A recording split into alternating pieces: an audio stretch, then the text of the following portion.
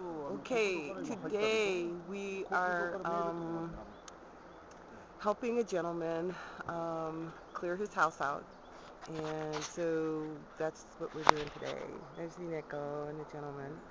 And we have been cleaning this house out. And you can see the tsunami went all the way up to the roof. And was very lucky. He jumped in his car and backed up the road. The tsunami came from this direction, as you can see. And what we're doing is we're pulling everything out of the house today. That's our job.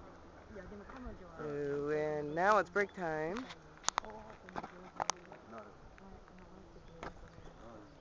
And we're taking a break. This the crew. And so um, that's my job today. Yeah.